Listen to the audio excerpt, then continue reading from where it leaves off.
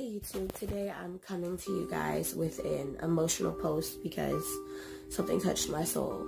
It really upset me because as a person who went through bullying in high school and college, actually I've been through, I've been bullied all my life. Um, in my case, it was biracial. Other women didn't like me. Other, let me say this, people say you're supposed to be, oh, you're black. Oops. Sorry, blurred my camera out, y'all. We'll say that, oh, you're black and you're no different than the rest of us, but that's not how you're treated when you're biracial. But this isn't about me. Um, this little boy, now he was a black boy, and he was only, I can't remember, but he was really young, around 10 or 11 and he was bullied to the point that he killed himself, and bullies told him to. I'm trying not to cry because it's an unsettling feeling, and I know at a young age you want to kill yourself. I was a little bit older, but geez, this is this young. The kids that are killing themselves are getting younger and younger, and these schools are these schools are not being held responsible. You know, I'm going to say this. Locking the parent up won't teach whatever little evil demon that they brought life to, okay? You got to lock the little evil demon up. That's either not being raised properly or somebody's bullying in at home or maybe they're just a little evil egotistical jerk that thinks everything should be theirs. Everyone and all the people there should worship and follow them. Okay? And then you gotta go to locking the people at the school. When a kid commits suicide, and it's been it can be proven that multiple times there have been multiple complaints, these people need to be backed down from their jobs. They need to be helped, they need to be charged with some type of some type of um I forget what you call it when you assist in a crime. But that it needs to be a part of a crime and they need to be included as if they assisted. Okay?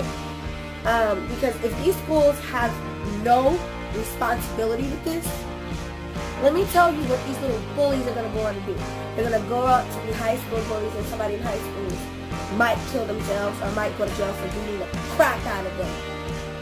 Because nobody checked these kids. Okay? Um, then they're going to go into college, messing with somebody, possibly dealing with teachers and God knows what.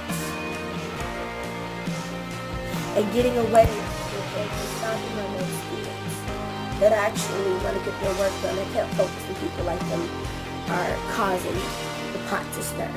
Okay? Um, because teachers won't interfere. There are very few, and I'm going to tell you, there are more teachers that will get together and lie with the deans, principals, presidents, if you're in college, whatever else there is out there, any titles I didn't mention. Okay? And then they're going to go on the job because they're grown. Okay? I'm going to tell you this. Children bullies grow up to be adult bullies, and they work at these jobs and stuff now. They cause other people problems at work. These are the people that are harassing people at work. if they're never taught responsibility and never made to face the consequences, especially in situations when a little boy kills himself. They're just going to live on and think it's okay. Some of them might grow up, but let me tell you something. Any child, that's death. They are old enough to know what death is and what happens with death. And they are that evil to tell that boy to kill them, kill himself. And the school, who's been let know about the situation the whole time it's been going on, says that there was no evidence. Yeah, I bet there's no evidence. I bet you're going to mess with cameras. I bet it should be a legal thing to where you have to keep all camera videos no matter how old. Because in situations like this, scandals always happen and stuff always comes out years later. But it needs to come out now. And something needs to be done. So that's my video on this subject. I don't think I can talk about this any further because this actually upsets me. I went to a point where I almost committed suicide and my mother told the security guards at school and the security guards were actually in on it with, you know, the, the kids at school, the high school I went to would pass the security guard drugs. They would drink with them. Some of the girls were sleeping with them. So regardless, if I reported people, I got in trouble still. I was made to look like I was a bad kid and I actually wasn't the bad kid. I was the kid that wouldn't tolerate no nonsense, that would speak up, that got tired of being bullied. But I still got in trouble. And my mother told the freaking security guards, like, I told you they were no good. You're talking to these people like they're your friends. You can't trust these people. And these same people sat up there and they put it out there that I said I was going to kill myself. They themselves made fun of me.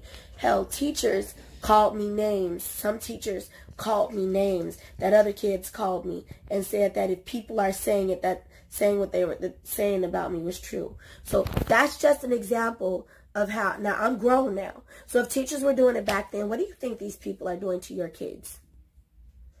Any and everybody. If your child is saying that they want to hurt themselves, coming home complaining every day, please, from somebody who's been bullied, take it seriously. Do not blow it off. It is not like back in your day. Okay? These people are not going to grow up. They are not going to grow up and grow out of it. Even if some of them did grow up, they're still kids right now, and you can't wait on the fact and hope that every year that you send your child to school in that same district. Fight the district back. Do what you have to do to get certain teachers removed. I'm going to tell you, my mother and I don't always get along. But I've seen, I'm going to tell you this after my situation and she saw how I really started to change, I think that's what influenced her to get involved with both of my younger brother's situation, which that I'm proud of her for doing. My mother getting involved and going toe to toe. Oh my God. I'm going to actually have to sit down and do an interview with my mother to tell you what she did to get these principals and stuff removed the biggest example I could think of because a, a teacher cannot say they don't like a parent. Because if you don't like a parent, then that proves that you're using that as your ammunition to go for the child. And that's discrimination. And that was elimination for that principal right there. So, but I'm actually going to do an interview with my mom because there are things you guys can do to fight to get these teachers and principals and superintendents out of there. Because they're the reason why. They have favorite children, parents that bribe them, parents who have money that they can't afford. Get out of here. We don't care about the parents that have the money. They need to, those parents need to sit up there and be in court with those parents who bribe the colleges because those are probably the exact same type of people. Not saying everybody's like that, but come on now. If you'll bribe your kids elementary school or preschool, come on now. What else will you do? Bring in food, gifts. Come on now. Please, file complaints against these principals. File charges against these um, schools, wh- whoever it is, go over their head, and if they don't do right, file charges. Do not let these districts keep doing this stuff to your kids, because what happened to me with my mental health, oh, it was broken. It was broken, it was messed up, and it took me years to fix myself. I even went to college, and I still had to learn to fix myself because I was harassed in college. Okay, so let me say this. But as for your kids, you do not want your kids dealing with this type of stress so freaking young. A college student, you're grown. You can learn how to get through this a little better. And I did. But a child, your child's mind is fragile. Please do not let your children go through this. I beg and I plead for anyone who's watching. Fight back. These schools are not going to do right by your kids. They're going to shush and give you those shove off say a few words and say, okay, we'll handle it, and nothing will be done. And that kid will be like, seriously? And that other kid will be back punching your kid, saying what they want to your just any and everything, and they'll probably get more kids involved. And other kids that are intimidated are going to get involved because they don't want to be bullied. Or maybe some people just want to be cool, so they're just going to do it. Have a good day, people. Please take what I said into consideration. Your children deserve to grow up, okay? They don't deserve the abuse.